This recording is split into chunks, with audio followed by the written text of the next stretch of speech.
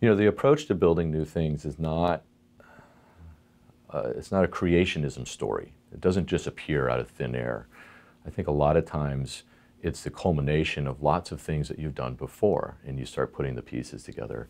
At STEM, we used a lot of things that had already existed, whether it was in the internet, in the e-commerce, cloud, but we applied it to a new space. Right? We applied it into how do you think about using a battery, not so much creating new batteries, but how do you use it and how do you do that efficiently? And so we were able to use things like data and cloud computing and predictive economics to rethink the application in a private utility public setting uh, that was really the evolution of thinking over 10 years prior to walking into that moment. Venture capital is an interesting business. It is thematically based. It tends to operate in relatively short time frames vis-a-vis energy and clean tech. Most investments have to be liquefied or liquidated. Most investments have to be liquidated in an eight-year time frame venture capital also likes to have returns that are disproportionate to the capital that's invested.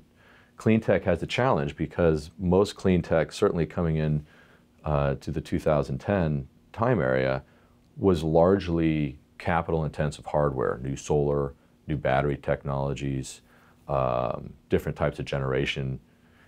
And a lot of the venture capitalists got caught with their flat footed, not understanding the amount of capital necessary to take some of those pieces there. I think the other thing that's interesting is that you can look at today's space, and there's a lot of clean tech companies that are masquerading as artificial intelligence or IoT or energy efficiency. And so I don't think it's a dead space by any means. I think there's a lot of very interesting things going on, but they don't uh, they don't involve solar or direct energy production or direct energy management. They sit around the edges of it. And there's a lot of money going into some of those sectors that are thinking about different ways of applying data, computational capabilities, IoT, in solving some of the, the energy problems we have today.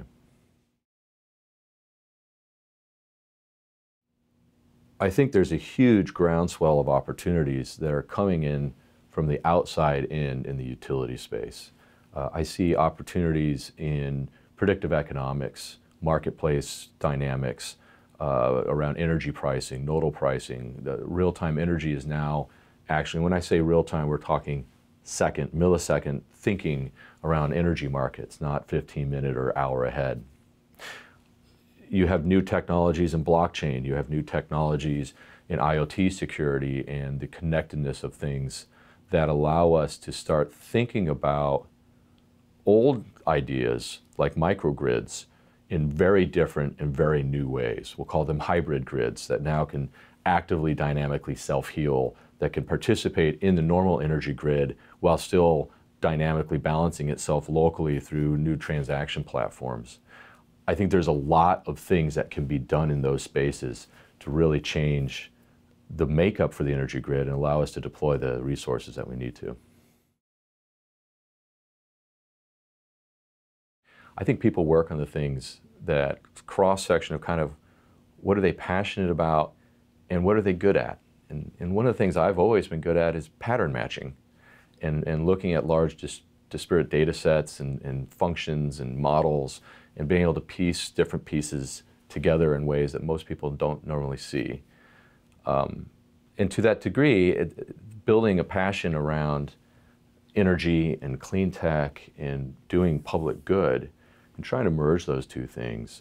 And so as I've gone through and worked on the projects and the phases in life, anything that I can marry those two things around, I've had a lot of success with because I've been passionate about it and because it's been playing to the strengths that I have. Clean tech is interesting. It's inherently a depressing field. The world is going to melt.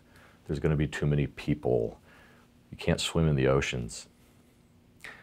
But I fall solidly in the camp of I think humans can figure it out and they can be optimists. And we look at different technologies, we look at different approaches and regulatory regimes, the government is not always the leading edge of solving some of these issues. If you look back even 10 years ago, you couldn't find a parking space in San Francisco. Today, they're taking parking garages out of the equation and redoing that use because they're half full due to ride sharing apps.